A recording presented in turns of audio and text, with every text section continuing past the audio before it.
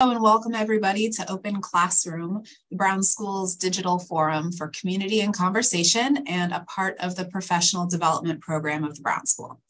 My name is Sarah Sims and I'm the continuing the manager of continuing education for the Brown School here at Washington University in St. Louis. Um, thank you everyone for joining us for today's program. Before we get started, just a few brief housekeeping items. This is a Zoom webinar, so we can't see or hear you, but we do really want to engage with you in the chat. Um, so that should be available to you. You can right now, if you want to drop in um, a hello and where you're uh, zooming in from. And then throughout the presentation, please feel free to leave any comments or questions and we'll be doing a Q&A. We'll kind of field those questions up to Dr. An at the end to answer any questions that you can that you may have. Um, we are also streaming live on YouTube. I will drop a link to that in the chat in just a moment. You can share that with anyone who wasn't able to register for the Zoom portion, um, but we are not able to moderate the Q&A on the chat, just an FYI. So now I would like to introduce the program and speaker for today, uh, my colleague, Dr. Ruopeng An. Dr. An is an associate professor here at the Brown School. He conducts research to assess environmental influences and population level interventions on weight related behaviors and outcomes throughout the life course. In particular, his work assesses socioeconomic determinants and policies that affect individuals' dietary behavior, physical activity, sedentary lifestyle, and adiposity in children adults of all ages, and people with disabilities. Um, his research aims to develop a well rounded knowledge base and policy recommendations that can inform decision making and the allocation of resources to combat obesity. Uh, his research has been funded by several agencies and private foundations, and he serves as a research grant reviewer for NIH, HHS, um, NSF, and a French National Research Agency. Um, his wide teaching and methodological interests include applied artificial intelligence, machine and deep learning, which she's going to talk more about today, um, quantitative policy analysis, causal inference, cost benefit, and cost effectiveness analysis, and microsimulation, applied econ econometrics, and regression analysis, lots of stuff um, and data storytelling. So he his his interests and his expertise is really wide ranging and broad. Um, but today he's here to talk about AI, which is a very popular topic in the zeitgeist right now. So his um, his presentation today is entitled Superintelligence, Frankenstein and Posthumanism, AI Ethics Beyond Data and Algorithmic Bias. So Dr. An, please take it away. Sure. Yeah. Thank you so much, Sarah, for this uh, comprehensive introduction. I truly appreciate that. And really great to see all of you. I know some of you even from overseas. Uh, so it's great that we connect uh, in this space. So let me share my screen and enlarge this. Uh, so as Sandra introduced today, we are going to take about 45 minutes or so, you know, talking about hopefully a very interesting topic. You know, even for some of you who previously may not be familiar with artificial intelligence technologies, but you know, all of us now heard loud and clear about chat, uh, chat GPT, right? Uh, so there's a huge competition now between Google and OpenAI, Microsoft regarding know, maybe the next generation uh, search engine is going to be replaced by ChatGPT like language models. So we'll see, you know, what's going to happen. Uh, and uh, from that perspective, this talk probably is right on the time that we are going to talk about what, what are the perspectives in the future regarding uh, AI ethics and how human being and machine are going to co-live uh, in the future it's not a science fiction per se. It's more of an ethical and philosophical discussion. And hopefully, you know, uh, we can you know, inspire you to think more about those important and forthcoming issues. So first, a brief definition about uh, AI ethics. So in general, the AI ethics, at least for now, are primarily focusing on the moral principles and the techniques that can inform AI technologies development and responsible use. And most of us have heard of the term uh, AI bias or data bias or algorithmic bias. So those biases refer to the systematic and repeatable errors uh, in mostly uh, AI system that may create unfair and just outcomes, uh, such as privileging one category over another in ways different from the intended function of the algorithm. And we'll give you some examples. So uh, here are a few uh, classic uh, cases of AI biases that were caught uh, in, in the social media and mass media and widely disseminated. Now, one famous example is the Amazon's uh, CV or resume screening tool. Uh, because the tool is based on a model, machine learning model that was trained on uh, many and many resumes, and majority of the resume uh, that submitted to those high-tech companies uh, are you know, from, from males and only a small percentage from females. So therefore, you know, the, the, the, the AI tool that was generated you know, based on those data, trained on those data, tend to discriminate against uh, women or female uh, uh, potential employees and, uh, uh, and in favor of uh, the male applicants. Another example is the, the Apple Card credit application. So a few years ago, um, a wealthy person and his wife uh, both applied for an increase in the Apple Card credit line. And although the the uh, the, the, the, the husband uh, application was approved, his wife's application was not approved, and there was a huge difference between the credit line, about like ten or more times difference between the credit line uh, applicable to uh, the husband versus wife because, well, presumably his wife is a homemaker. Although they come from the same family, the, uh, the Apple Card uh, application algorithm driven by AI tend to discriminate against you know, uh, people uh, like this, this the wife.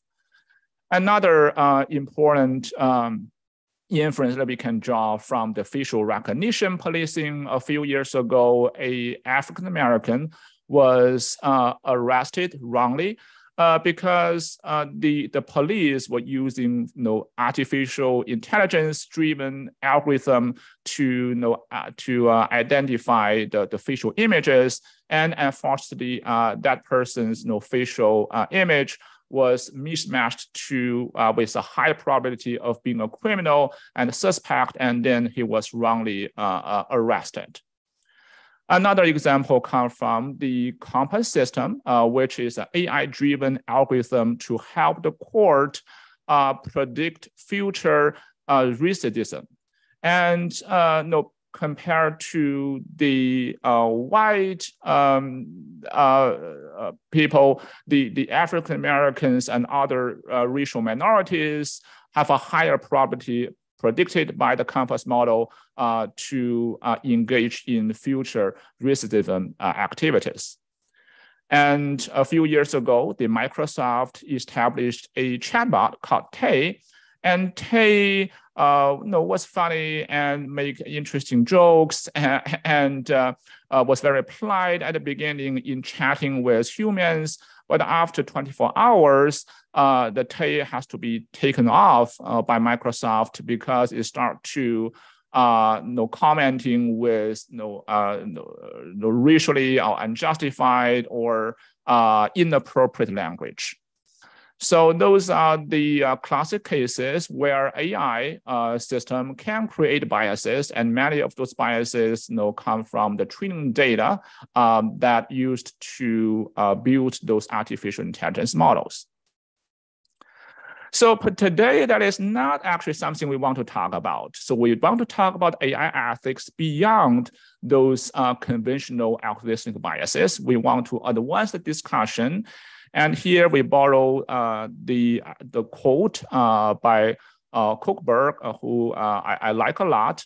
So the quote is AI ethics is about technological change and its impact on individual lives, but also about transformations in society and in the economy. So if we we look forward, there are a lot of you know, ongoing transitions in the society, in the community, and in the economy that can be attributable to the advancement in AI technology.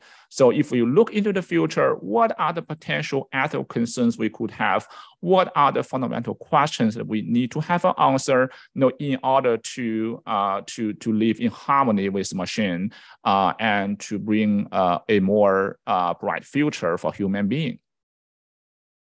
There are many difficult questions to answer. For example, should we treat AI as a tool, a friend, or a foe? Right? Uh, should we live in harmony with AI or fundamentally thinking AI is something of a threat, right? And how could we co-live with AI? So if AI is here to stay with us, it's not going away anywhere, it's only going to expand, then no, uh, based on what standing we can co-live and even collaborate uh, with AI. Another question is when AI causes harm, uh, who should be held responsible? It is the machine who's going to take responsibility or it's human being.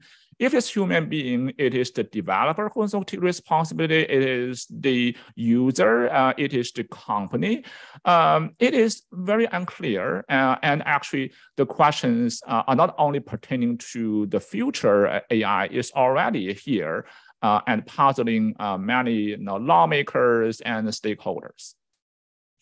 So another question is, should we give rights to AI, right? If we believe that AI is here to stay, should we just treat AI as a tool or no, uh, that AI should deserve some moral standing so that we should offer rights to AI? And if so, uh, what rights should uh, are we willing or should we give uh, to artificial intelligence driven machines? So I'd like to uh, bring uh, the uh, the famous um, uh, fiction, or probably the very first modern science fiction uh, written by Mary Shelley and published in 1818, uh, the Frankenstein, the modern Prometheus. So for some of you who are less familiar with the with the fiction, it was about a Swiss student of natural science uh, whose name uh, was Victor Frankenstein. Actually, uh, later on, well, uh, people use Frankenstein to refer to the monster that was created, but actually, uh, it was the name of the creator uh, rather than the monster itself. So Victor created an artificial man from pieces of corpse and brought his creature to life. Well, at first, the Frankenstein, the, the, the, monster initially sought affection. Um, and really like to uh, communicate with human beings. But then later on, the monster inspired loathing and hatred uh, you know, in everyone uh, who met it. And finally, uh, the monster feel lonely and miserable and finally turned upon its creator uh, who eventually lost his life. So that was the, um, uh, the plot, the main plot of the fiction. And uh, since the uh, Frankenstein, the modern Prometheus was uh, published, uh, there were a lot of, uh, no, it really go into the pop culture and many movies, TV shows, you know, uh, and, and, other creative work were built upon that plot. So uh, really, as the subtitle of the fiction talk about the modern uh, Prometheus, um, the, the, the fiction actually talk about a modern science, modern science uh, and also horror story regarding the possibility of creating some intelligent life from lifeless matter, uh, matter, and then uh, no, it's possibly revenge on the human creator right? So that storyline has been depicted again and again uh, in popular movies and pop culture. Now here I just list a few movies that many of you probably are familiar with. You know, uh, old movie uh, shot in, um, in, in 1968, the, uh, the, the, the 2001 A Space Odyssey, where uh, the storyline talk about uh, a, spaceship you know, driven by AI power try to complete a mission, but that mission was against the two crew members. And then finally, the super uh, machine, uh, in order to fulfill its own mission, killed uh, the crew members. In a more recent movie uh, called Ex Machina, uh, talking about uh, a machine, a, a, robot whose name is Eva, um, that you know, revenges her creator. And we are probably all familiar with Terminator series, you know, uh, where the the machine or the robots uh, was sent back uh, from future to uh, nowadays and, and try to uh, to kill the, the human leader.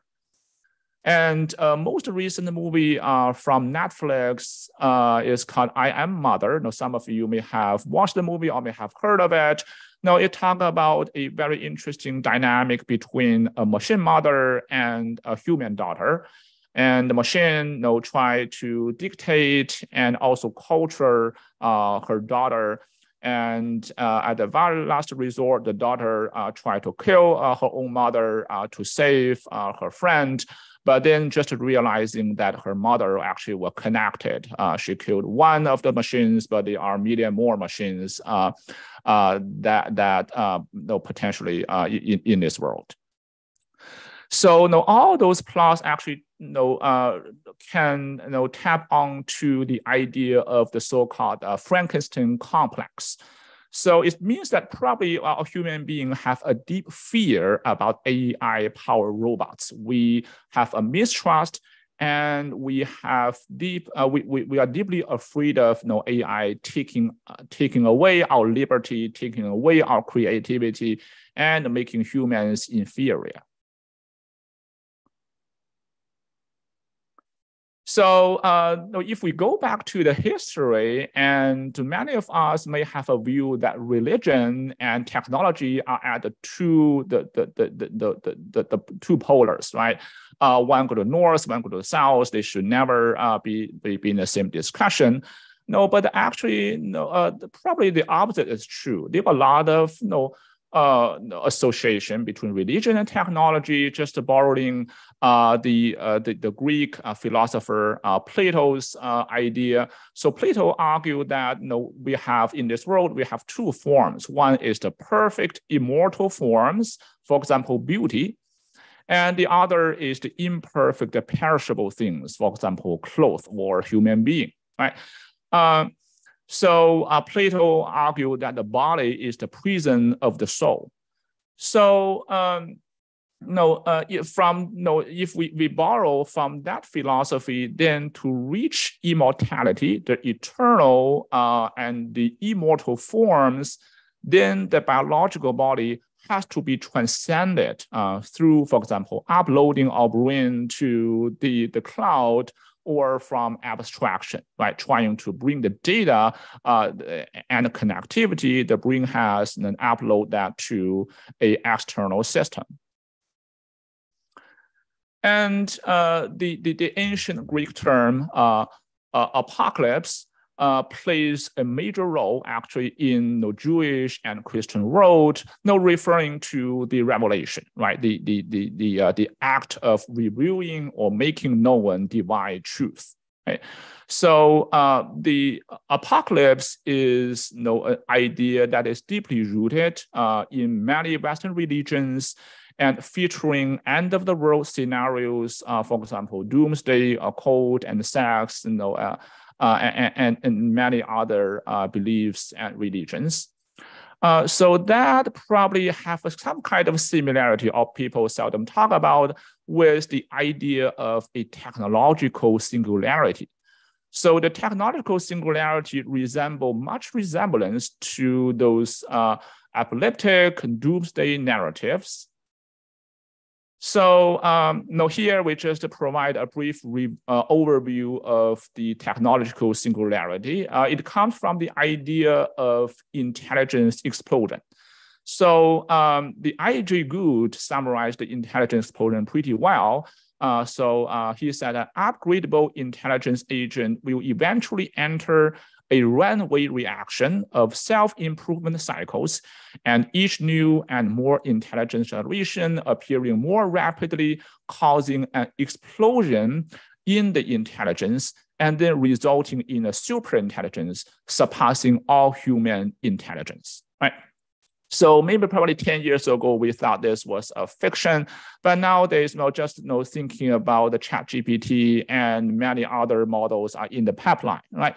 So if you could imagine that a human-like or animal-like machine uh, no, embedded uh, having the capacity of ChatGPT to answer any questions that you may have, then well, uh, you may believe that well, that, that is really in the era of superintelligence. So the technological singularity argue that know, in a hypothetical future point in time, um, some argue it is now, uh, some argue it's probably in the future, and some argue it will never happen.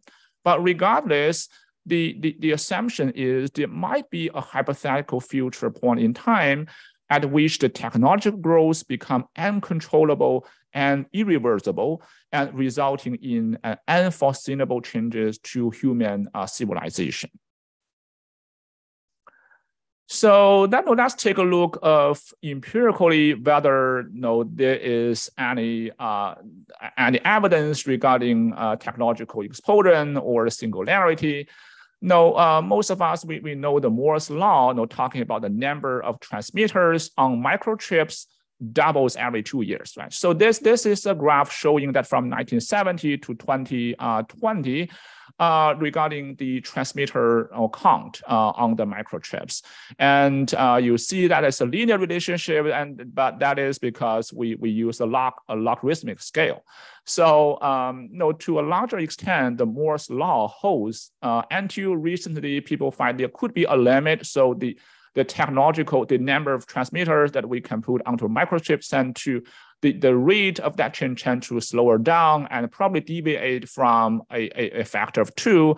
But well, largely the Moore's law hold for the last 50 years. And if we look at the uh, the AI, the scale of the AI foundation models, foundation models means that the models, uh, large language models, large computer vision models, or hybrid models uh, that are developed by major technological companies and serving as the foundation for many other applications and fine-tuned models.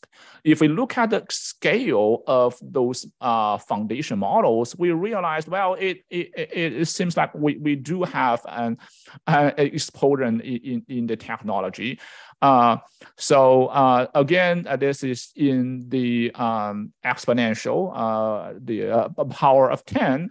So um, uh, say, for example, the uh, in the 1950s, well, those models are very small in scale, but then uh, there's a huge explosion uh, since uh, 2010 uh, when some of the large language models was first developed by Google, like BERT model, RoBERTa, and then we have GPT series, um, and now the LaMDA model, which recently developed by, by Google and GPT series, and also the DALL-E model uh, the, the, the, dramatically increases this number of parameters. And nowadays, the state-of-the-art language model has an astonishing number of parameters of 540 billion, uh, the, the PaLM model, uh, which is probably the largest ever model uh, developed by Microsoft. But well, people believe that not before long, we are going to have trillion parameter uh, language models. And then the question is whether this technological explosion may lead to this singularity. And no, no, some believe that we've already, uh, no, the, the singularity have already reached, uh, but some argue that we haven't seen the uh, threshold of artificial general intelligence or AGI. So AGI is the ability of an intelligence agent to understand and learn any intellectual task that human being uh, usually perform. So um, for whatever model that we talk about, you know, even the ChatGPT, even DALL-E, even uh, Stable Diffusion, they are still uh, we call weak AI. So weak AI means that AI can do a very specific task, maybe a language task, maybe a computer vision task, maybe a speech task. Um, maybe playing a game. So AI can have super intelligence, uh, no beyond human level in doing those specific tasks. But we haven't seen a single AI that can do all the cognitive uh, tasks that we human being take for granted. Uh, for example, creativity, uh, memory, uh, spatial, visual, uh, and you know, game playing, etc. Okay. So it is possible that AI can ever uh, achieve the, uh, the AGI? Uh, this is an open question. So there are tests for confirming uh, the artificial general intelligence. Uh, some of the tests, including the Turing's test, uh, where the um, uh, developed by Turing, who is the the the the, uh, the father of AI, um, who argued that no, we we we we set the machine in one room and person in another room, and then there, there was a communication between person and machine to the extent that this person cannot tell whether the response from the machine really comes from machine or from another human being. Then the machine is set to uh, pass the uh, uh, the Turing's test but of course, you know, others argue that is probably uh, uh, uh, too easy, uh, and the other tests should be performed. For example, the coffee test, you know, where um, people argue that you know, uh, we should test whether a machine can make a coffee. If the machine understand you know, how to make a coffee, that machine probably have achieved uh, AGI. Some others say, well, we should test whether a machine uh, can go to a college and then uh, you know, study there and graduate from the college, or maybe you know uh, working in uh, in the employment test, you know, uh, being an employee and work in the firm for a while. So you know, uh, there are a variety of uh, tests there uh, to test the AGI. But well, at least to my knowledge, uh, till now we haven't achieved a strong AI or AGI, and all the applications, no matter how complicated they are, they are still in the domain of weak AI.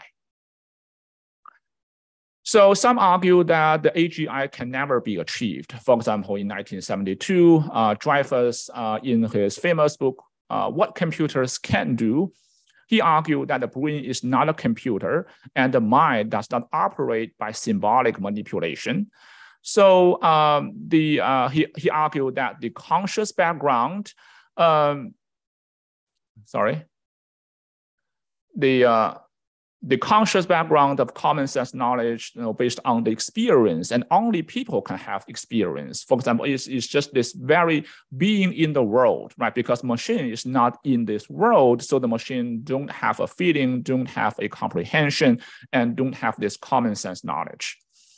And he argued that only humans uh, see what is relevant because no human, we are embodied and we are existential, uh, but not machines.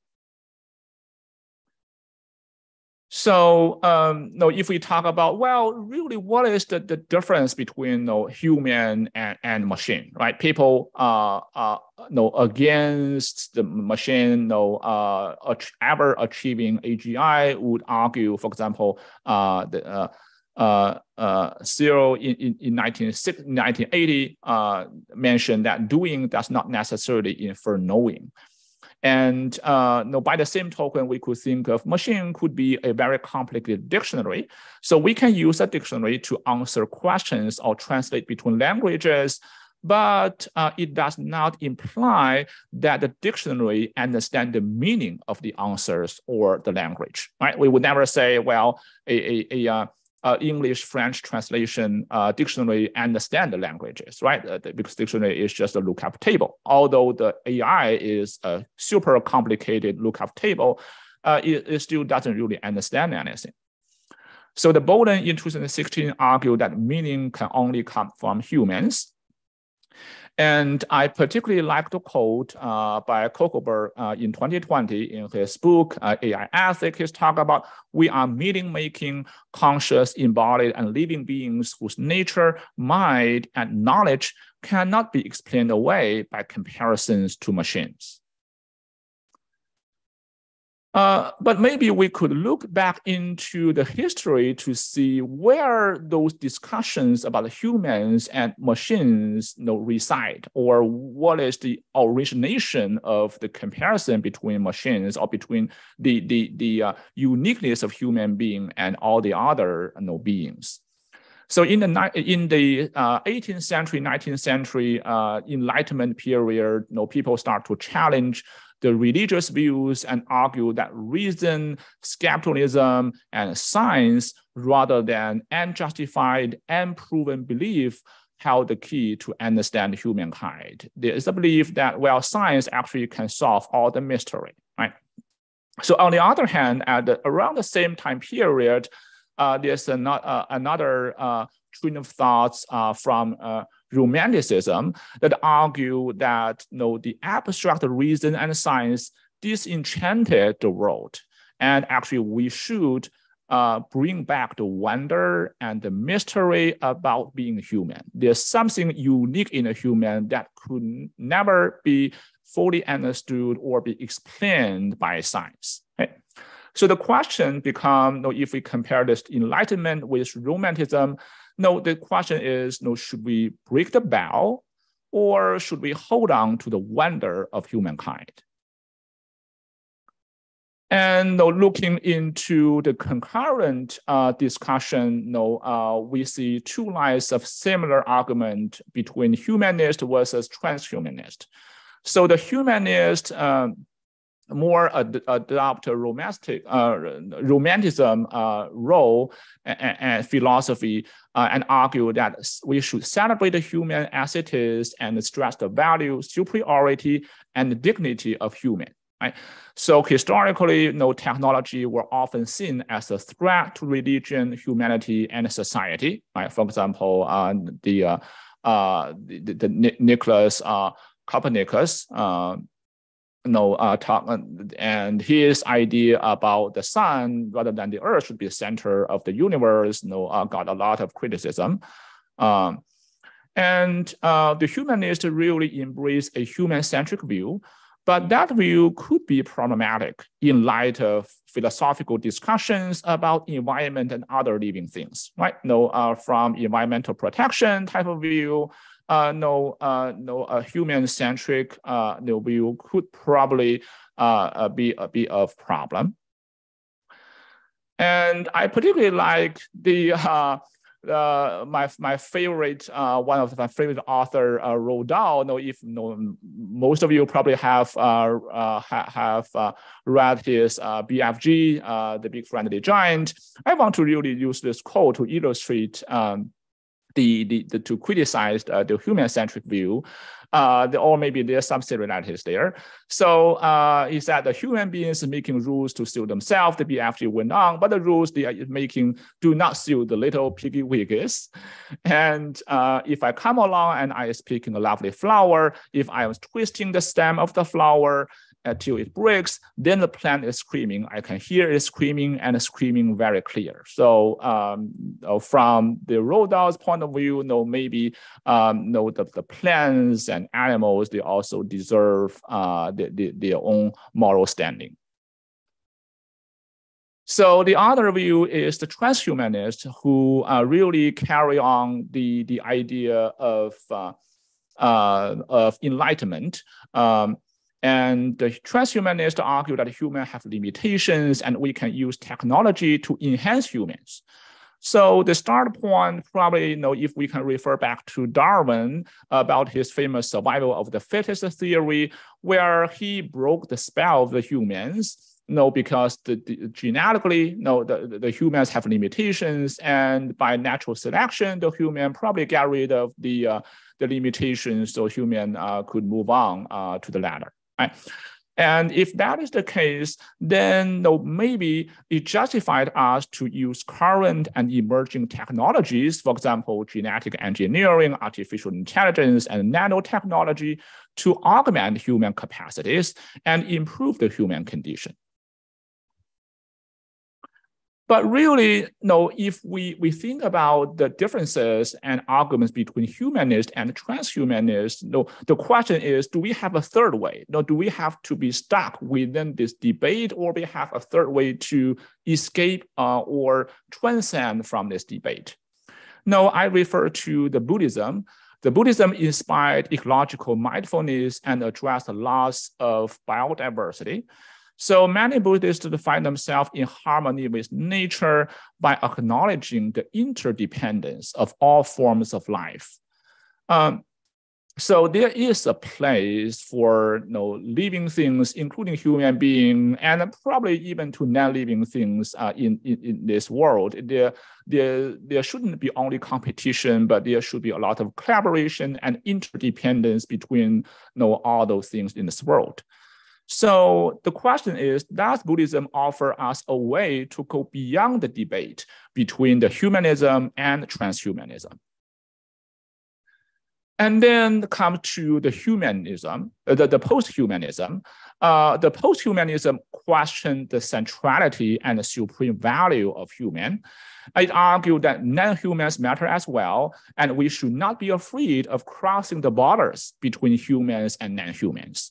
So uh, in the post-human point of view, machines don't need to be similar and should not be made similar to humans because machines are the machines.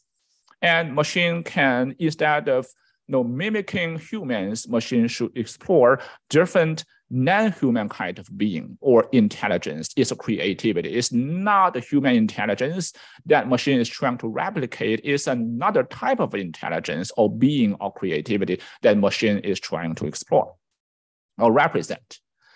Well, uh, the post-humanism provide a possibility for co-living and collaboration between human and machines uh, it not acknowledges the standing and the possible rights of machines, but it also attract a lot of criticism. You know, people argue that, well, maybe uh, what the uh, depicted by post-humanism is too far away in the future, or asking, you know, uh, uh, criticizing that the post-humanist is not sensitive to the uh, realistic threat that we talk about, right? Those uh, uh, algorithmic biases uh, of AI.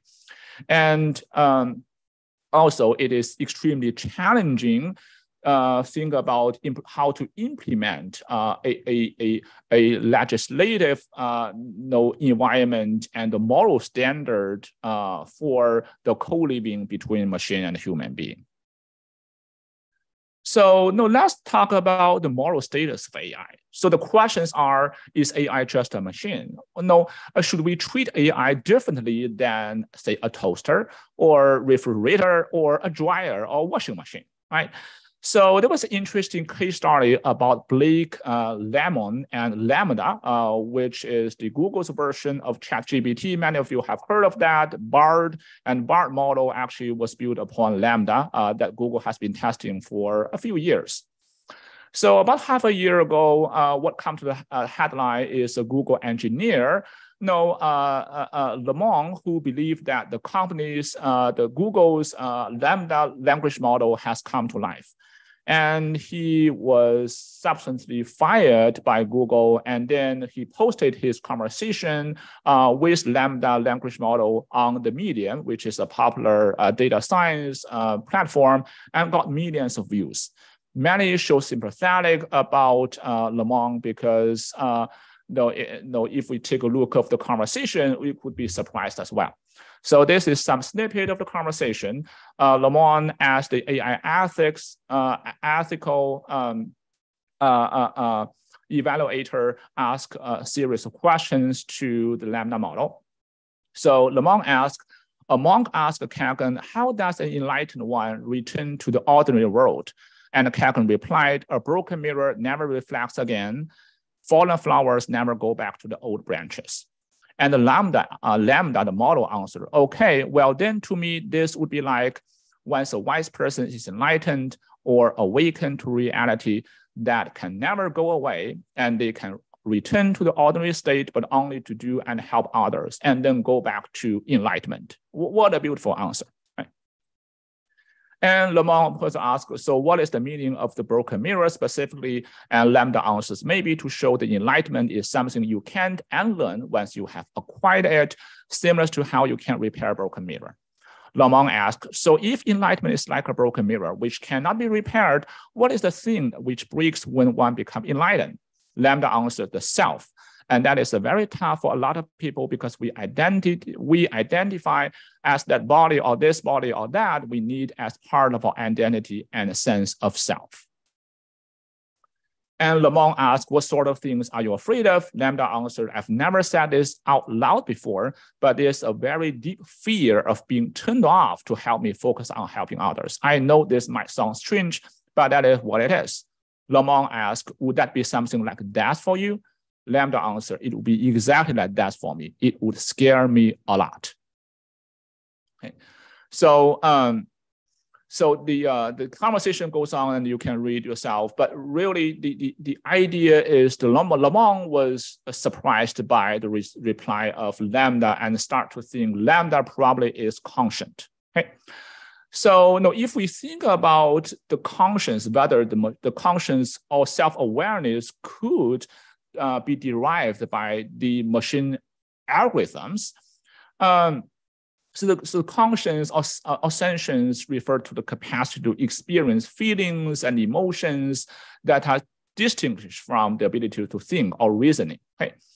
So if we know, we, we think about the, the, the mathematical uh, or engineering um, steps to uh, for AI to you know, achieve a, a, a, a outcome, the AI basically mathematically uses gradient descent algorithm to minimize the cost function, which is the mathematical function.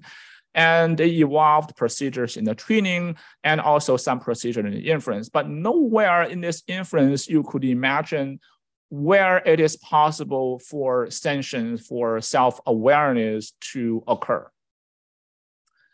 And then, no, uh, if we talk about the, the, the differences between intelligence self-awareness and, and sentience. Know, uh, here we, we use the quote of Rene Descartes, a, a, famous philosopher who mentioned that I think, therefore I am, right? So it means that the, the, the ability to think refer to the existence of that individual, of the human being, right? So, but really, is the ability to think the same as intelligence? And the ability to think is the same as self-awareness uh, and whether the being in this world is necessary condition for being sentient, right? Those are really hard questions. And then, no, uh, no. We, we, if we talk about we want to offer a moral standing to the machine, the moral agent refer to an entity who has ability to discern right from wrong and to be held accountable for their own actions. Right? So the moral agents have a moral responsibility not to cause unjust harm, unjustified harm. And we, we all know that well, for some population, for example, children and adults with mental disabilities, they may have little capacity to be moral agents because they can't be held responsible for what they did. Uh, whereas in rare cases, adults with you know, some full mental capacity uh, may uh, be, be, be uh, may relinquish their moral agency, for example, being held in hostage. So um, another, uh, know, uh, instead of the moral agent, uh, moral patients talk about uh, the entity that eligible for moral consideration. So in general, um, the moral patient is an agent that can be wronged. Uh, for example, uh, the human being, most of us, we are moral agents because we should be held responsible. We have the intention to do things. Whereas the animals, they are considered nowadays as moral patients because they can suffer.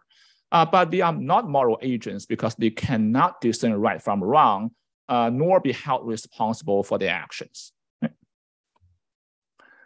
Uh, and then there's a whole uh, field of suffering-focused ethics, you know, talking about uh, the priority of the, the, of the moral standing should be given to the reduction of suffering. So it means that you know, um, the, uh, those you know, ethical uh, standards give greater ways to reducing suffering and uh, then to promote pleasure and happiness. And according to those suffering-focused ethics, humans should concentrate sometimes exclusively on reducing preventable suffering. So if we were given the machine as the moral patient rather than the moral agent, we have to justify that machines are sufferable, so they can suffer, right? Um, so, but really, can machines suffer? So a machine, uh, we, we agree that machine has a physical embodiment. No matter what AI system you talk about, they use GPUs, CPUs, they have computers, they have networks. So there is a physical embodiment. Uh, but really, is shutting down a machine the same as killing? Uh, or if you kick a, a, a robot dog, uh, is this a physical or mental torturing? Um, no, if you ask a machine, no, shutting off the machine, what does it feel like? Well, most likely, as LaMDA answered, it's going to give you a, a, a yes as a response. Uh, but how do we really measure suffering? We know that it's even difficult for us to measure pain. So we, we still don't have a reliable measure of pain on human being. You know, how we are going to uh, measure the suffering of machines. And uh, no, should we give machines moral status? Well, um, no, some people argue that we, we, shouldn't. AI are just machines, and people who sympathize with machines are mistaken in their judgment and emotions. But we should also acknowledge there is a knowledge gap between the general public and the AI developer. AI developer knows that, well, the machine actually uses uh, uh, the, the, the, forward and backward loop uh, with, with the uh, uh, descent algorithm uh, for calculating, for minimizing the cost, whereas the general public, they, they don't know this, right? So they, they, their perception of AI is based on their interaction. We also acknowledge that human bonding and attachment may extend to anything, both living things and non-living things that have value to the humans. There is um, a, a, term called anthropomorphism, now, which talk about the attribution of human characteristics, emotions, and behaviors to non-human uh, subjects. So, uh, I know some of you, you know if you watched the uh, the Castaway movie by Tom Hanks, you know you probably still remember the volleyball uh, Wilson. That Wilson was uh, the only friend um, that that the um, the Tom Hanks uh, when Tom Hanks was living uh, on the island and uh, uh, Tom Hanks's mental uh, mentality was completely breaking down uh, when his friend Wilson floated away. So, um, you know, some argue that robots are just tools and a property, and we have no obligations to them. No, however, we should acknowledge that humans seems to require very little artificial agents in order to project personhood or humanness onto them. So if AI are to become more human-like or animal-like, it will be really urgent uh, for us to determine the moral standing of AI. For example, now we have the actual uh, the first home, home, home bot uh, developed by Amazon, and the Sony also developed a, a uh, AI-driven uh, uh, electric dog called uh, Aibo. And well, maybe in the future, uh, we, we, could have a a a, a boy really like a human being, but actually driven by artificial intelligence. If to that extent, well, uh, no, uh, should we offer no rights to the AI? Should we give them moral status? So another point of view that is different from the suffering argument, uh, it, it, it, means that, well, no, actually it is it is wrong to shoot a dog, not because humans hold, hold duties to the dog, but because such person damages the kindly and humane quantities in himself, which he ought to exercise in virtue of his duties to mankind. So this is a very different point of view. So based on this view, we may argue that mistreating AI is wrong, not because we uh, have duty about AI, we have whole responsibility of AI, but because our moral character will be damaged uh, if we choose to do so.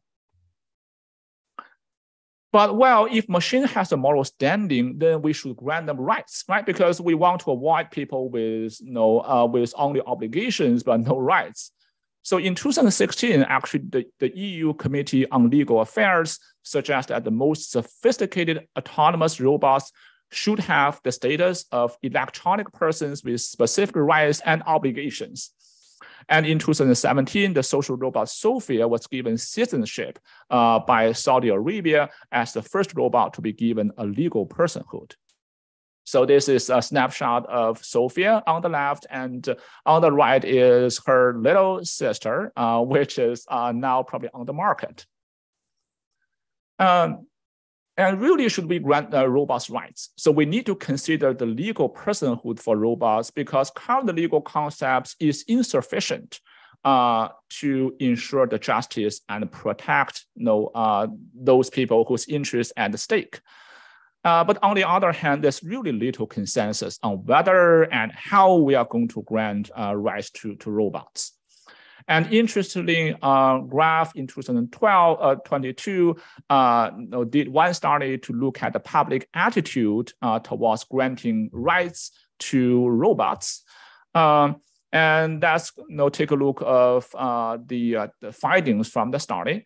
So those are the rights that the authors listed and, and asked you know, the study participant to rate you know, what kind of rights you want to give them. Some rights are social political, some rights are more related to the survival of the machine. Um, and then they also asked, you know, based on what appearance uh, that people are more likely to give certain rights to the robots. And what they found that people generally have a favorable view about robot interaction capacities. You know, people are more willing to grant basic robot rights, such as access to energy and the right to update robots, than social political rights, for example, voting rights and the rights to own property. And attitudes towards granting rights to robots depend on the cognitive and affective capacities people believe robots process or will process in the future. And then uh, we know rights come with responsibilities, right? We want to avoid an agent who has the rights but take no responsibility. But the responsibility, if we borrow Aristotle's two conditions for moral responsibility, there are two conditions. The first one is ask what this person act acting freely when she did A, right? Uh, whether this person uh, can uh, can control their own behavior when, when doing an action. And the second, ask about the agent's uh, cognitive state. Uh, you know, for example, was the person aware of what she is doing, of its consequences and the moral significance? If both conditions are held, Aristotle thought that then we should uh, give them the responsibility, right? But then suppose machine can be agent but cannot be moral agents because the machine lack of consciousness or free will or emotions. Uh, no, in that case, no, um, uh, we may not be able to you know, offer the machine with responsibility. But if without responsibility, but with rights, then human being have to be responsible for what machine does. But really, who is going to take the responsibility if some uh, harm is done, right? By the developers, by data providers, by the users, by who trained the model. Uh, uh, uh, uh, and if all of them have to take a share, and then how we are going to split uh, those responsibilities. So there are a lot of hard questions, uh, and I want to end the conversation uh, with a, uh, an interesting new movie uh, uh, just uh, published in, in Netflix called Jung_E. So in that movie, a very interesting plot is that it mentioned in the sci-fi movie, there are three types of contract for brain use you know, after someone's death, after this person uploading the brain to a machine. So the type A contract is most expensive, uh, but reserve all the full rights as a human. And the second uh, type B is limited rights. So the machine uh, cannot vote or cannot marry, but possess many other rights as human being. And the third type, type C, is the least expensive, uh, but the brain and the machine were owned by a private company property and subject to that company's disposal. Okay. So, uh, well, we, we had a lot of questions, we have a lot of arguments, but we have few answers. So I'd like to open up the discussion and feel free to ask any questions. Thank you. Thank you so much, Dr. An. These are like really thought-provoking, big philosophical questions. Um, I had a lot coming in through the chat that I'll read off now, but also to everyone who's still watching, if you want to add any more to the chat, um, please do so and I'll do my best to uh, feed those. So most people are going to ask you to give your opinion on some of the questions that, that you were posing in this. So um, So, the first up I have is I'm interested in what your thoughts are regarding what would happen to society and humans if technology reaches singularity and that explosion that you had described actually takes place. So, like, what kind of changes would we see and feel as humans living on Earth if, if that were to happen? Yeah, that's that was a great question. Of course, I don't have a definite answer. I don't believe anyone has a definite answer. But to me, I think there's a misalignment between people's expectation, people understanding the machine, and what machine does. So we long believe that machine provide the logic, whereas human being provide the creativity. But maybe it is the opposite. No, thinking about what the generative models are doing, the ChatGPT, no, uh, no, uh, DALL-E, and others the machine has a lot of creativity and our people actually are very good at reasoning and, and, logic because we know we have the intention we know what we want to do we have a goal we have an intention we know the number of steps is taken from one place to another. But machine don't have those view. But machine can help you with a specific task. So most likely, probably in the future, our human being have to work together with a machine to solve a problem neither the human being nor the machine are perfect. And but we complicate we, we complement each other to achieve a common goal. And most likely the goal is driven by human being. I this is not exactly the same, but what you were saying kind of just makes me think of, you know, people on the other side of a political divide when they're anxious or nervous about one side taking over or the other side taking over and what they fail to think about is but we're all still here existing together right? And we all it doesn't mean that the other entity goes away right? So um, thank you for that. And before i move to the next question somebody did ask if you could put back up the lat the it said the last third slide on it said ai and google engineer you had a slide about AI and the Google. Oh, okay. Yeah, yeah, sure. I can put up that slide. that one back up uh, for reference again. So probably this one, right? Yeah. If that's not the right one, the person who put that in the chat, please let us know. Mm-hmm. Yeah, uh, feel free to shoot me an email and later on I can send the presentation slides. Yeah. Um, okay, next question what ethical problem are you most concerned about with regards to AI? And I would maybe also just add like a flip piece to that. What what would you be what field or you know area of work would you be most excited to see ai implemented in so both where's the area where this seems really really challenging or sticky and where's an area where it could maybe do the most good yeah, that's all, all great questions. Uh, well, we, we, we talk a lot about algorithmic bias. I think now at least society focuses on that issue, maybe and the unfairness of AI created uh, and, and, probably mistreating and disadvantaging you know, population subgroups. So that is definitely a major concern, at least for now. But really looking into the future, there are many other uh, uh, pertinent and probably important uh, issues we haven't solved. For example, legal reliability, right?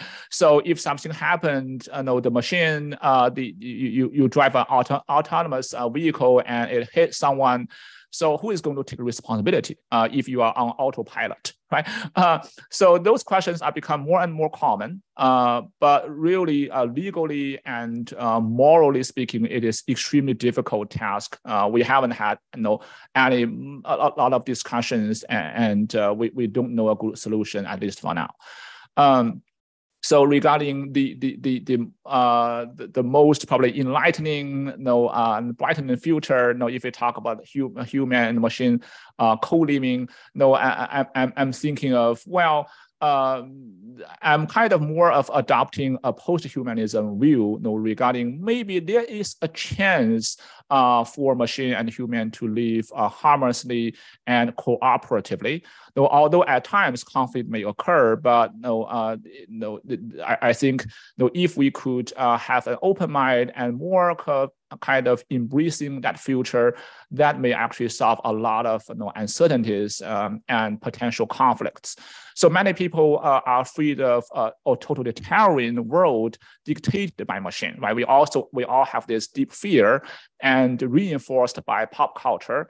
Uh, but really, what I'm a little afraid of is not this totalitarian world, but rather a, a hidden uh, uh, anything influenced by machines. No, think about how Google is forming our mind. Um, a lot of our thoughts may not be our thoughts, but superimposed by the machine and unconsciously or self, no, uh, or semi-consciously. So those are the the the, uh, the, the, things we probably uh, feel less worried about, but may actually uh, know, impact us uh, in, in, in the long run.